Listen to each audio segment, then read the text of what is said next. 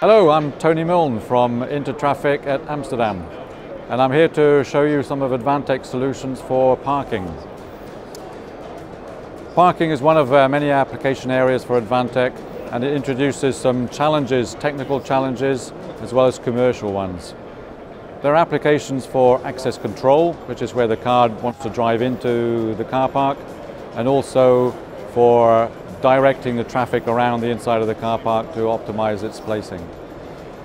Car parks can be multi-story, but they can also be underground and of course street parking. Each of these introduces technical challenges for wireless or cabled versions of applications. And Advantech supports all these different kind of environments. Here we're showing an example of a LoRa solution. LoRa is a long-range wireless communication system.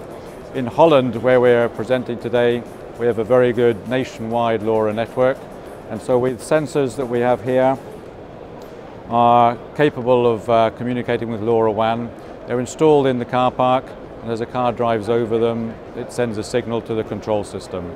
This is a very cost-effective way of implementing it because there is no requirement for cable installation. The sensor is installed into the road. Advantech works with many sensor manufacturers and we provide the communication backbone to which it communicates.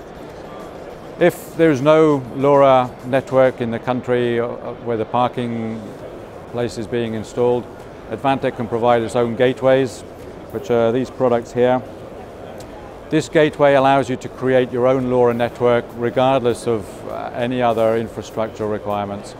Um, and car parks also have other connections to sensors for temperature and uh, other environmental specifications. So Advantech has the node devices like the WISE series to allow you to connect all of the devices in, uh, in the car park. So thank you very much for listening.